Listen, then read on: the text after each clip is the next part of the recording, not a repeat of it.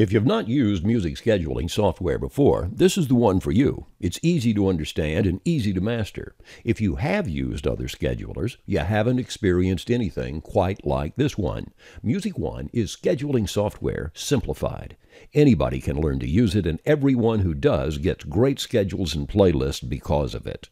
Music One follows your lead and delivers exceptionally smooth music flow hour after hour, day after day. It doesn't require buckets of formatting rules because it's not designed to make scheduling decisions itself based on multiple layers of formatting rules that you have to manage and manipulate. Instead, Music One rapidly schedules all of the easy stuff. And when it spots a slot where there's a music flow or content or formatting decision that needs to be made, it stops there and lets you make it. It's quick and efficient.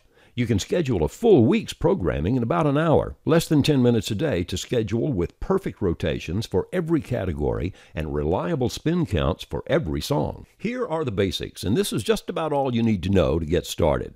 First, import your song metadata, the titles, artist, length, and file name or cart location used by your playout automation system. This data can be imported from other music schedulers or radio automation systems from text files or audio file tags or from another Music One database. Move your songs into the categories that you create. Every song within each category is going to get the same number of spins during your broadcast days and weeks. You'll design some categories for heavy, frequent play, and other categories for songs that you want to get less frequent exposure. You'll also have categories for non music things such as station IDs, promos, voice tracks, and programs. Build your format clocks with mouse clicks, like this.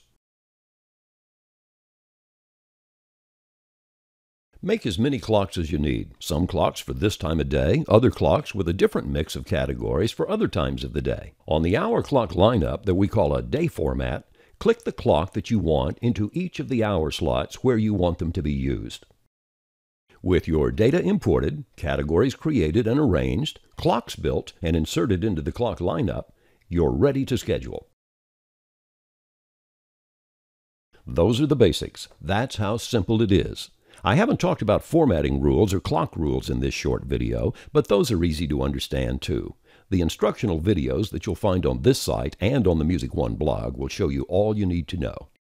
Working with Music One is an experience unlike working with any other professional level music scheduler. It puts you in touch with your music rotations and in control of your flow in unique and highly efficient ways. You can hear and feel the improvement in your radio station immediately.